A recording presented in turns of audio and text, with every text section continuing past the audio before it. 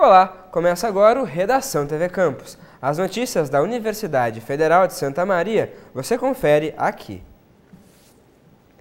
Os servidores terão a oportunidade de saber mais sobre gestão e preservação dos arquivos digitais da universidade. A palestra Documento Arquivístico Digital nas IFES, Gestão, Preservação, Acesso e Difusão acontece no dia 16, a partir das 9 horas da manhã são ofertadas 100 vagas e as inscrições vão até o dia 15 de setembro no site da Pró-Reitoria de Gestão de Pessoas ou também no local do evento. Os programas de computadores, também conhecidos como softwares, auxiliam o trabalho de muita gente. Geralmente, esses programas são pagos. No entanto, a utilização de softwares gratuitos tem se popularizado na UFSM. O trabalho com arquivos é algo que requer cuidado, já que é de grande importância para a preservação da história. O Departamento em Arquivologia da UFSM usa em seu arquivo digital softwares gratuitos e de livre acesso. O importante para a arquivologia é a questão de liberdade de acesso. É a questão de eu não impedir o acesso a esses documentos. Como a arquivologia ela está preocupada em dar acesso aos documentos aos cidadãos, é o documento arquivístico, é o documento que é fonte de prova. As pessoas precisam desse documento para exercitar seus direitos. Então, eu não poderia, por exemplo, utilizar um software proprietário para armazenar um, uma carta, armazenar uma declaração, armazenar um depoimento.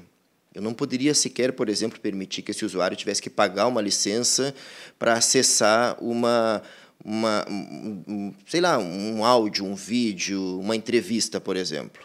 Outro setor da universidade que também utiliza amplamente os softwares de livre acesso é o Laboratório de Informática do Centro de Educação, o LINSE. Então tem softwares que são de uso da educação, que a gente consegue colocar, e tem outros que são de uso geral, comum, por exemplo, um editor de texto, um, um para utilizar um, tipo um Word, um PowerPoint, um Excel, tem o semelhante no software livre, que ele é tão bom quanto o outro. Os softwares livres não são considerados uma forma de substituir os pagos. Eles são alternativas. O LibreOffice, por exemplo, é uma alternativa ao pacote Microsoft Office. O GIMP para o Photoshop. O Sumatra PDF para o Adobe Reader. Quase todos os programas possuem versões alternativas, incluindo sistemas operacionais. Tu consegue, se tu está num projeto, como numa universidade, tu consegue alterar o código e adequar o sistema, o software, para o teu uso. No proprietário, se a empresa não fizer, tu não vai conseguir fazer isso. Né? E muitas vezes o custo desse software proprietário, ele, ele acaba não sendo possível tu desenvolver uma coisa, né? Por causa disso. No livre não, tu consegue desenvolver. Tu baixa, atualiza, tem atualização quase todo dia. Então é um software que tu tem atualizado e faz as coisas semelhantes ao software proprietário. Para um software ser considerado livre, ele deve possuir as quatro liberdades essenciais. A primeira é executá-lo com qualquer propósito. A segunda, estudar como ele funciona e adaptá-lo às suas necessidades. A terceira é redistribuir cópias da sua versão original. E a quarta, distribuir cópias das suas versões modificadas pelos usuários. A UFSM recebeu nesta semana o Grupo Infantuna, uma associação acadêmica sem fins lucrativos que atua difundindo o folclore português. O evento musical ocorreu hoje no restaurante universitário. Confira um trecho da apresentação.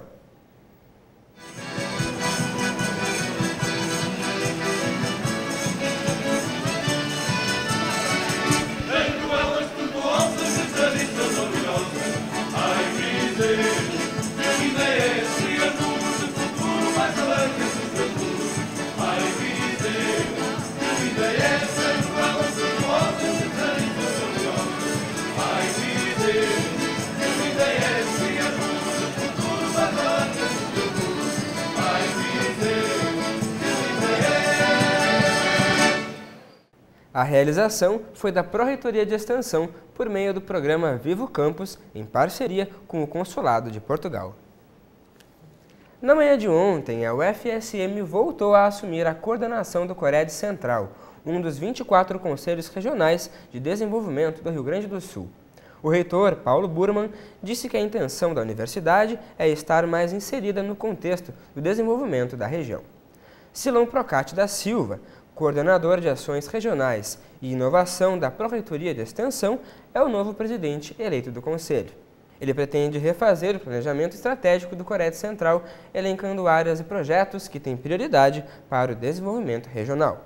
A eleição e posse ocorreu no Salão em Membuí, no prédio da reitoria, com a presença de prefeitos de cidades da região e demais autoridades. A reitora da Unifra, Irani Rupolo, também esteve presente na ocasião. E para quem quer aproveitar a noite de quinta-feira de uma forma diferente, a dica do Redação TV Campus é o terceiro concerto oficial da temporada 2014 da Orquestra Sinfônica de Santa Maria. A apresentação será no Teatro Caixa Preta, que fica no Centro de Artes e Letras. O espetáculo começa às 8 da noite e terá entrada franca. A realização do evento é da UFSM e da Associação Cultural Orquestra Sinfônica de Santa Maria. O Redação TV Campus fica por aqui. Obrigado pela sua atenção. Voltamos amanhã com mais notícias. Até lá!